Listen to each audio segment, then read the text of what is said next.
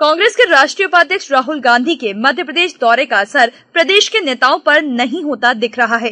कांग्रेस के युवराज राहुल गांधी ने मध्य प्रदेश कांग्रेस के नेताओं को एकजुट रहने की नसीहत दी थी, लेकिन यहाँ दिन पर दिन गुटबाजी बढ़ती ही जा रही है। प्रदेश में अब कांग्रेस के मुस्लिम नेताओं ने अपनी ही पार्टी के खिलाफ बगावत करने का ऐलान कर दिया है।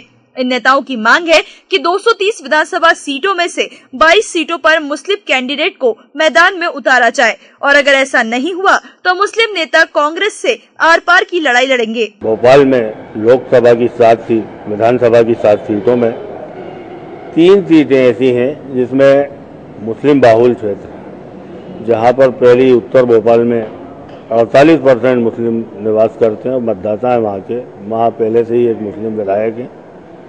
दूसरा, मध्य सीट है जहाँ बयालीस परसेंट है और पिछली बार वहाँ से हमें टिकट दिया गया था।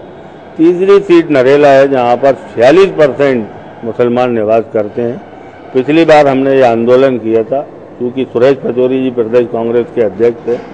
उन्होंने कहा था कि हम इस टिकट को पहले घोषित कर चुके हैं सुनील सूद के नाम से। इस बार आप इसको छोड़ दीजिए, अगली बार हम आपको इस सीट पर ज़रूर मतलब टिकट देंगे। मध्य प्रदेश कांग्रेस कमेटी द्वारा जो टिकट वितरण की एक कमेटी बनती है पंद्रह लोगों की। उसमें ये देखा गया है कि उसके अंदर पंद्रह में एक मुस्लिम समुदाय के व्यक्ति को लिया जाता है, जिसे कमेटी के अंदर मैनेज कर लिया जाता है और वो उतनी बुलंदी से आवाज़ नहीं कह पाता है। तो हमारा कहना है, जब भी वितरण कमेटी, पंद्रह सदस्यीय कमेटी बने, उसमें कम से कम पाँच मुस्लिम को लिया जाए। दूसरा C I C central election committee बनती है, पाँच मेंबर्स की। उसमें आज तक कभी किसी मुस्लिम को नहीं लिया है। एक हमारी डिमांड ये है कि उसमें एक मुस्लिम को लिया जाए, दूसरी हमारी डिमांड काफ़ी लंबे अरसे से चल रही है, कोई भी मुस्लिम प्रतिनिधित्व एआईसीसी में सड़सठ साल हो गए अभी तक नहीं है। ना तो किसी मुस्लिम को आज तक मध्य प्रदेश से, मध्य प्रदेश से ऑल इंडिया से नहीं, मध्य प्रदेश से किसी भी मुस्लिम को ना उपाध्यक्ष बनाया गया न जनरल सेक्रेटरी बनाया गया, न सेक्रेटरी बनाया गया, न प्रवक्ता बनाया गया, न उसको सीडब्ल्यूसी बनाया गया।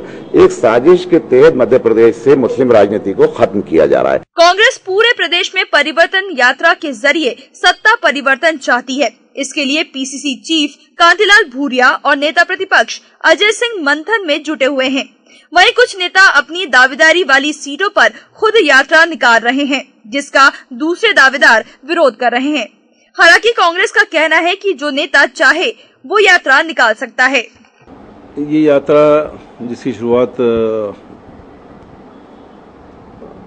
मध्य प्रदेश की विधानसभा में नेता प्रतिपक्ष हैं राहुल सिंह जी, उनने शुरू की थी।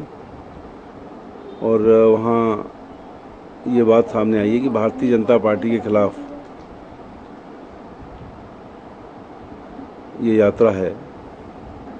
और जो पूछा गया था उनसे, जो मैन सिंह जी तो उन्होंने कहा कि हमने सभी को इसमें इनवाइट किया है, कांग्रेस जन, पूरे भोपाल के कांग्रेस जन इस विधायक के खिलाफ और भारतीय जनता पार्टी के खिलाफ ये यात्रा है। और जब अध्यक्ष जी से पूछा गया तो उनने भी कहा कि जो भी बीजेपी के खिलाफ या उनके विधायक के खिलाफ कोई प्रदर्शन, यात्रा करता है, वो करे, लेकिन जब विधानसभा में किसी भी प्रत्याशी को कहीं से भी टिकट मिलती है उसको जिताने का प्रयास सभी कांग्रेस जनों को करना होगा। इस चीज़ को हम देखेंगे। नहीं, ये अभी जो परिवर्तन यात्रा भूरिया जी की और राहुल सिंह जी की निकलेगी, ये सभी विधानसभा क्षेत्रों में होगी। और, भोपाल का उसमें नंबर जून के प्रथम सप्ताह में आने वाला है। उस समय जब उनकी यात्रा निकलेगी तो वो हर, जितने भोपाल के विधानसभा क्षेत्र हैं, उन सब में यात्राएँ होंगी। मध्य प्रदेश में नवंबर में विधानसभा चुनाव होने हैं। इसके लिए कांग्रेस, बीजेपी एक दूसरे के खिलाफ रणनीति बनाने में जुटी हुई है। ऐसे में कांग्रेस में मुस्लिम नेताओं की अनर्गल बयानबाजी आने वाले चुनाव में पार्टी के लिए मुसीबत खड़ी कर सकती है।